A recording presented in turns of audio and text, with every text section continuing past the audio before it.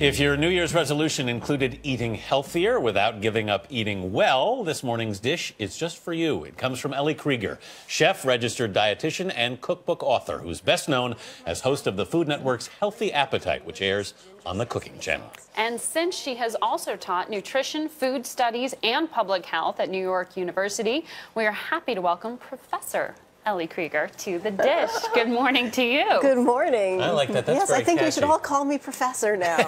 what have we got here? What, do we, Yeah. what have you got in front of us? oh, delicious food. And doesn't it smell amazing? It smells fantastic. So it's a chipotle turkey meatloaf. And we have two kinds of mashed potatoes because, like, why stop at one, right? Never have enough mashed potatoes. No, I'm all and some broccoli with toasted garlic and a nice salad, nice seasonal salad of spinach with um, pears and walnuts. And basically, so the point is, is that it's like comfort food. It is satisfying. It is gives you that like warm fuzzy feeling in every way, but it is so much healthier for you.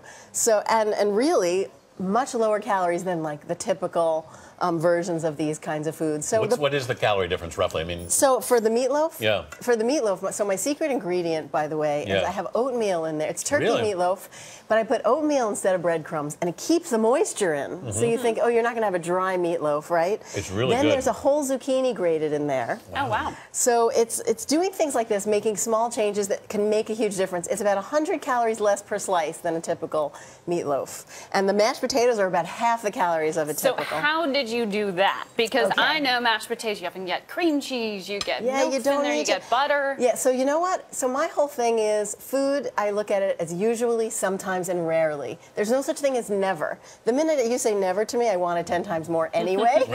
so, um, so basically, I use a little bit of butter, about two tablespoons, but that's all you really need to get that richness.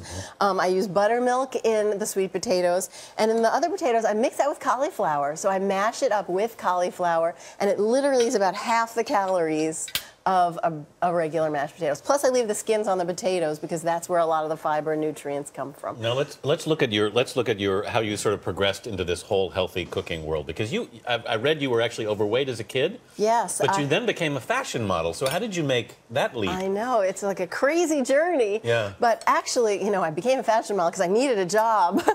and I knew people people were telling me that um, you know I could do that. So it wound up being great, and that's how I paid for college. Mm-hmm. Really, in the end, I was like a, a model wannabe nutritionist. So Right. I don't know how that works.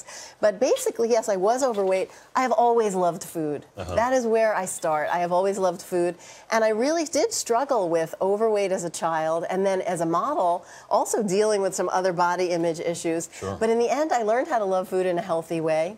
So you can have it all. You don't have to go on some crazy kind of diet. In fact, my whole purpose of my book, Small Changes, Big Results, and all of my recipes and so on is to help people learn how to love food in a healthy way and get off the diet roller coaster. You don't need to be there. It is not a fun place to be. Yeah. Sitting here at this table with you guys is a fun place to be. So if you could have this sangria or Oh, this yeah. meal with anyone, we like the sangria.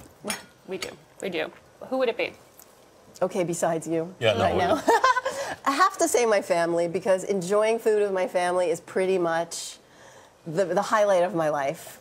But if it can't be that, then it might have to be Jude Law. I don't know. Yeah, you know what? That's my favorite answer so far. You've got to sign our dish. It's it's a family tradition in this house. And uh, Chef Ooh. Ellie Krieger, thank you so much for being with us this my morning. pleasure. Thank you.